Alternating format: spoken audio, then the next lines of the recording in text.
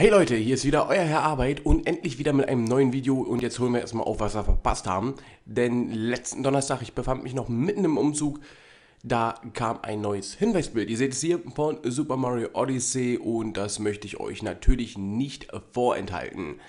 Ähm, ja, endlich mal wieder meiner Meinung nach ein Bild, wo man sagen kann, okay, das ist jetzt relativ einfach. Ähm, man erkennt hier eigentlich relativ schnell, um was es sich handelt. Wer jetzt hier noch Probleme hat, es kann doch eigentlich nur das verlorene Land sein und das sind diese, diese Krabbler-Raupenviecher, die sich immer so zusammenziehen. Diese bunten Dinger, die gibt es eigentlich nur dieses eine Mal im Spiel. Und auch wenn wir uns den Tipp hier unten angucken, der jetzt hier unten steht, dann lesen wir dort eigentlich fast das was es oder besteht, die bunten Kreise heben sich von den braunen Teilen auf diesem Bild ab. Wenn du genau hinsiehst, bemerkst du vielleicht, dass es nicht einfach ganz normale Kreise sind. Genau, es hat einen Kopf, es hat einen Schwanz. Also, verlorene Land, wir reisen hin, ich zeige euch dann, was wir dort finden. Na gut, es ist ein Pixel-Luigi, wie immer. Was soll's. Cool ist es trotzdem. Intro ab.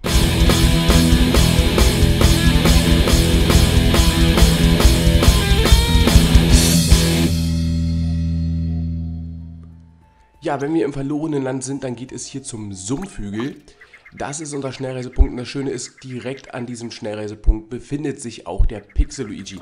Ihr werdet es jetzt hier sehen, hier sind diese beiden raupenähnlichen äh, Gegner, sage ich mal, die wir auch kapern können.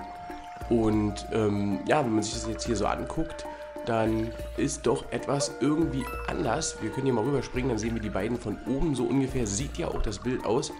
Und ähm, ja, wir müssen wie immer natürlich eine Stampfattacke ausführen. Natürlich jetzt nicht hier. Ähm, denn das Ganze ist ein ganz klein wenig anders, als es aussieht auf dem Bild. Ich kann das hier nochmal zeigen. In den Hinweisen, da sehen wir das. Und da fällt doch auf, alles klar, der Pixel Easy befindet sich hier zwischen dem roten und dem gelben Kreis.